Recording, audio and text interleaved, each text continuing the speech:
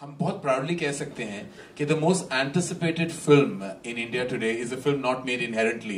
in the Hindi language बहुत गर्व की बात है कि there is a piece of cinema made in our country which we are also proud of that is resonating across the country सारे देश में जैसे धमाका समझ चुका है हमारे इस फ़िल्म की वजह से। तो मुझे लगता है कि चाहे वो सिंगल स्क्रीन हो या मल्टीप्लेक्सेस हो it's a pan India film और I think full credit to Rajamouli sir कि उन्होंने एक ये, एक पूरे